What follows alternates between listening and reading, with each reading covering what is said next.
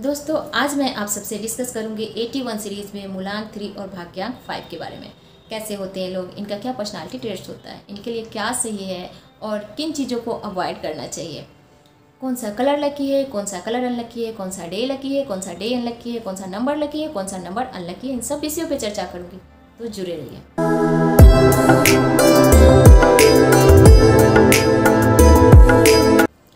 नमस्कार दोस्तों, जय गुरुदेव। मैं समिता सिंह फिर से वेलकम करती हूँ अपने चैनल निम्रोन में। वो नंबर थ्री ये किनका मूलांक होता है?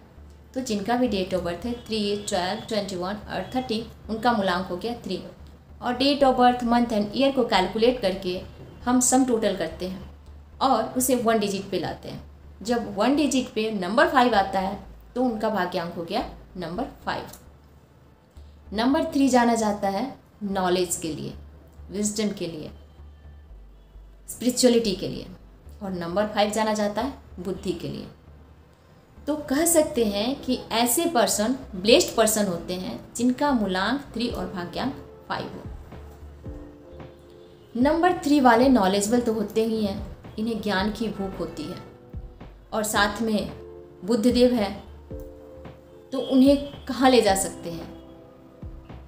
बहुत बहुत नॉलेजेबल पर्सन होंगे ये। दोस्तों फ्रंट में नंबर थ्री है तो ये प्लानिंग बहुत ज़्यादा करेंगे। एक साथ दस प्लानिंग कर लेते हैं, उससे भी ज़्यादा। और दस साल आगे की प्लानिंग करते हैं।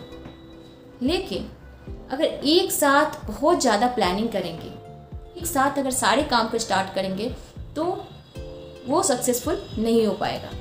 तो दोस्तों, इसलिए इनको कहा जाता है कि good starter and bad finisher दोस्तों, इनके एक अलग ही पर्सनालिटी होती है। ये कहीं भी चले जाए, इनकी कम्युनिकेशन स्किल इतनी अच्छी होती है कि लोग इनसे कन्विंस हो जाते हैं। इनकी एक अलग पहचान होती है। ये बहुत फ्रेंडली नेचर भी होते हैं, इनके बहुत सारे दोस्त होते हैं और बहुत टॉकेटिव भी होते हैं। कम्युनिकेशन स्किल बहुत अच्छी होती है। दोस्तों, इनकी सबसे बड़ी कमी है कि नंबर फाइव है साथ में तो ये लेजीनेस शो करते हैं। अगर ये फोकस हो जाए किसी एक चीज़ पे अपने नॉलेज को यूज़ करके तो बहुत बहुत आगे जा सकते हैं।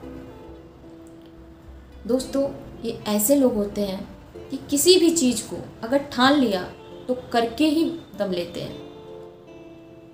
भले ही इन्हें बार बार गिरना पड़े, ये उठते हैं, खड़े होते हैं, फिर करते हैं। जब तक ये कर नहीं लेते, तब तक ये छोड़ते नहीं हैं। और गिर के जब संभलते हैं तो ये चमकते हैं, बहुत आगे जाते हैं, ये शाइन करते हैं। दोस्तों, ये किसी भी क्षेत्र में चले जाएँ, इनकी एक अलग ही पहचान होती है। ये एक अच्छे डॉक्टर हो सकते हैं, अच्छे कम्युनिकेटर हो सकते हैं, ये अच्छे काउंसलर हो सकते हैं आप मीडिया में चले जाइए, बहुत बहुत ब्लेसिंग है आपके लिए। दोस्तों, क्योंकि आपकी कम्युनिकेशन स्किल बहुत बढ़िया है। आप क्रिएटिव पर्सन भी हैं तो क्रिएटिविटी से रिलेटेड कोई भी वर्क करते हैं, बहुत आगे जाएँगे। दोस्तों, बस आपको अवॉइड करना है लग्जरी आइटम से रिलेटेड वर्क पार्लर से रिलेटेड वर्क भी करते हैं तो आप सक्सेसफुल नहीं होंगे। ऑकल्ट साइंस में भी जाएँगे, बहुत बहुत ब्लेसिंग्स है आपके लिए।